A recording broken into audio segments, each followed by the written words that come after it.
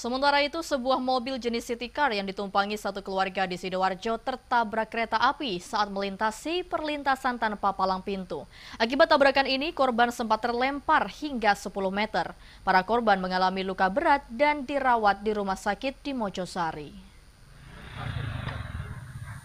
Peristiwa mobil jenis city car yang tertabrak kereta api di perlintasan tanpa palang pintu di Desa Banjarwungu, Kecamatan Tarik, Sidoarjo, Minggu malam sempat terekam video amatir milik warga sesaat setelah tabrakan.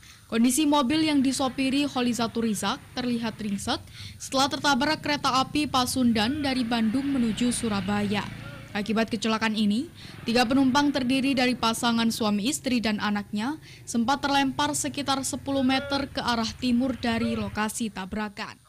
Dia nggak tahu ini tadi ngantuk atau posisinya gimana, uh, nggak tengok kanan kiri tiba-tiba posisi kereta api sudah dekat tidak bisa menguasai uh, kendaraan akhirnya terjadi laka yang mengakibatkan terlempar sampai 10 meter kendaraannya.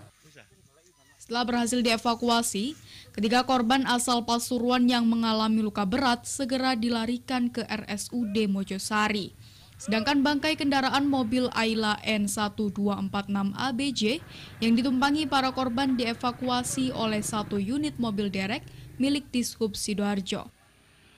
Dari Sidoarjo, Yoyo Agusta, iNews melaporkan.